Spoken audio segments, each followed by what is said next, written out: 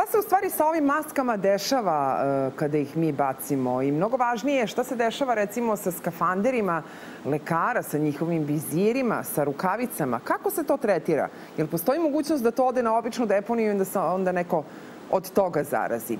Pitam to direktora uh, Republičke agencije za zaštitu životne sredine Filipa Radovića. Filipe, dobro jutro. Hvala, Hvala što ste tu. Ali pre bilo čega hoću da, da um, vam poželim srećan povratak među zdrave, jer vi ste sami nedavno preležali koronu, je li tako? Jesam, da. Do duše, to nisam tako ovaj, doživao nešto dramatično, jako je prvi par dana bila žestoka temperatura i pala mi je krvna slika veoma. Ali sam se brzo oporavio i više nego funkcionalan sam i vratio sam se svojim redovnim aktivnostima, čak i fizički treniram i tako, ali... Počeli ste sa treninzima, jel? Apsolutno, da, ali svakako ono što jeste važno to je da uvek iskoristimo sad dodatno ovu situaciju, da naglasimo koliko su važne ove mere koje se primenjuju u studiju B, da ljudi nose maske i Da. da, smo, da budemo zaštićeni od potencijalne zaraze virusom korona. E, Pet dana ste proveli i u bolnici, dakle niste bili baš jedan od onih najlakših slučajeva, jer se promenio pogled na, na život i na svet posle tako teške bolesti.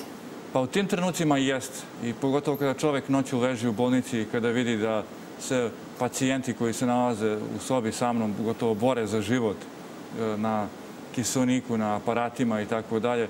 Međutim, onda kada se vratimo u neke normalne tokove, brzo zabo- zaboravimo i neko ponašamo se opet da kao neće to nama da se desi, ali ipak trebamo sebe da stalno podsjećamo da je svako potencijalna žrtva i da 16 miliona ljudi u svetu se već zarazilo, znači svakome to od nas može da se desi u nekom trenutku.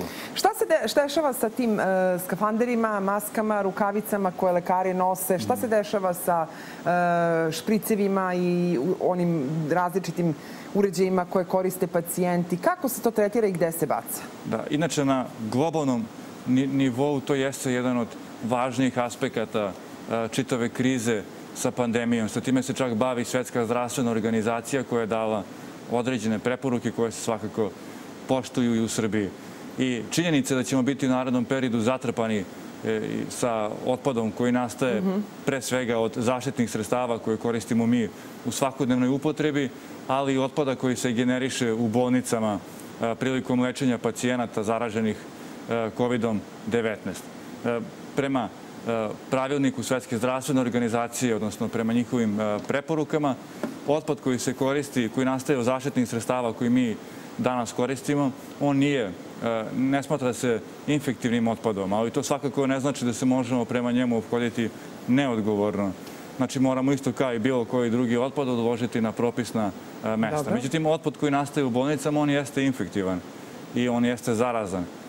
Procene govore da se po bolničkom krevetu dnevno oko 1,5 kg generiše. Takav otpad se, takav otpad se tretira u mašinama koje se zovu autoklav i oni na visokoj temperaturi neutrališu sve infektivne karakteristike tog otpada. Nakon čega on biva biva mogućnosti da se tretira kao takođe bilo koji drugi otpad, odnosno da se odloži na, na deponiju regularno. I ono Dakle, nije, nisu to spalionice, to je nešto drugo, tako? Da, da, to su, to su uređaji koji na visokoj temperaturi neutrališu infektivne karakteristike otpada. E, U Beogradu samo postoji 29 e, takvih uređaja u bolnicama, tako da su to zadovoljavajući kapaciteti trenutno i možemo reći da sa brojem od preko 90 e, autoklavova na teritoriji naše republike, pored toga postoji privatan sektor, da je Srbija u stanju da se, da se izbori sa otpadom koji će nastati tokom, e, tokom pandemije. E, kakav, kakav vazduh dišemo ovih dana? Vazduh ovih dana dišemo karakterističan za ovo doba godine, što znači da je odličan e, kvalitet vazduha, što građani mogu da vide na, na, na našem sajtu, na našoj aplikaciji i da budu informisani o tome. Ono što jeste svakako i tema ovoga jutra i ono što e, muči građane poslednjih dana, a to su neprijatni mirisi koji, se, koji se šire koji se šire u Beogradu. I oni... Evo, pitaju nas gledalci i jutro. Veliki smrad juče u celom Zemunu i na Novom Beogradu. Ne priznajemo odgovor da je to od farmi, pošto farme oko Beograda ne rade, kažu, 20 godina. Ne znate vi koliko novih farmi je otvoreno, to ja da vam kažem. Mi smo snimali, dakle, neki je rade, a od kanalizacije bi se osjećalo tako svaki dan.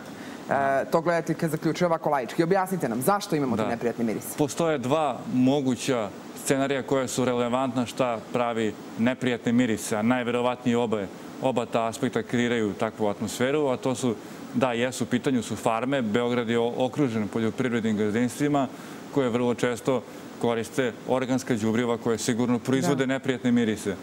Pored toga, e, Srbija e, nema dovoljan kapacitet e, tretmana otpadnih voda i to je nešto što je trenutno stanje. Uh mhm. -huh. Možemo sa ponosom da kažemo da je i nacionalni investicioni plan predsjednika Republike predvideo da će se do 2025. godine uložiti milijardu eura u sisteme za tretman otpadnih voda na teritoriji naše zemlje. Znači za pet godina?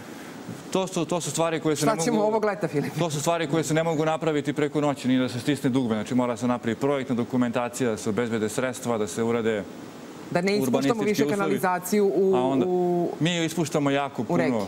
Da. E, Ovo je 21. blok, ovdje je nešto nažalost, drugo pitanje. Da, nažalost, Beograd jeste jedina prestonica e, u, u Evropi, jedini grad koji ispušta otpadne vode u Dunav ali to je nešto što će se ubrzo promeniti. Vidimo već grad Beograd ima nekoliko projekata na kojima radi, poput velikog sela, da će se voda otpadna tretirati i svakako u narednim godinama će se takva situacija promeniti. I ona jeste zapravo samo trenutna i ona je uslovljena pre svega meteorološkim prilikama u ovom trenutku. Jasno.